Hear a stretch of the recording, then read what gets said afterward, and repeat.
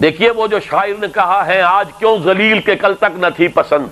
गुस्ताखी फरिश्ता हमारी जनाब में। आज क्यों जलील हो गए? रहमतें हैं तेरी अगियार के काशानों पर।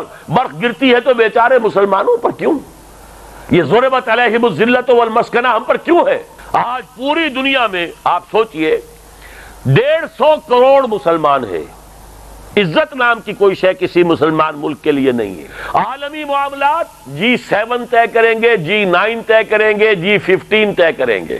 Permanent members of security council तय करेंगे। हम ना जी सेवन में, न जी नाइन में, न जी फिफ्टीन में, न permanent members of security council. हम ना तीन में, ना तेरह में।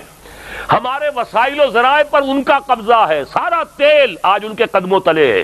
पंजे गाड़ कर बैठे हुए हैं वो खलीज के अंदर।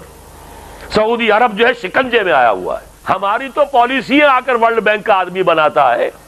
यहाँ आकर जो आईएमएफ के लोग हैं, वो डिक्टेट करते हैं, बिजली का बिल यूँ बढ़ाओ, फला का ये करो, फला का वो करो, पेट्रोल की कीमत बढ़ाओ, रुपए की कीमत कम करो। करते कि नहीं करते? ये जिल्लत, ये रुसवाई क्यों है? क्यों हमारी दुआएँ अल्लाह नहीं सुनता?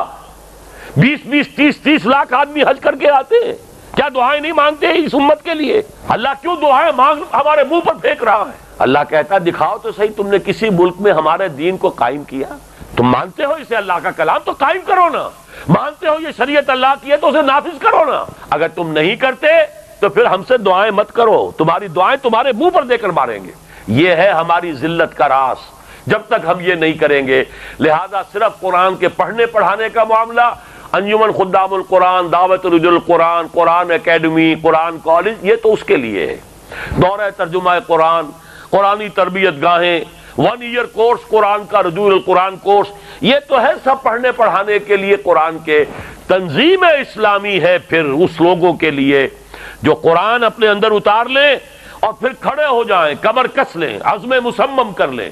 इन न सलाती व नुसकी व महया व रब्बिल आलमीन। अपनी जात पर अपने घर में अल्लाह का दीन नाफिज कर लें।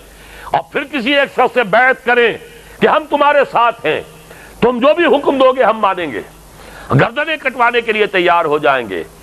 दो लाख, चार लाख, पाँच लाख आदमी पंद्रह करोड़ की कौम में निकल सकते हैं कि नहीं? अगर निकलेंगे तो यहाँ दीन कायम होगा, वरना नहीं होगा।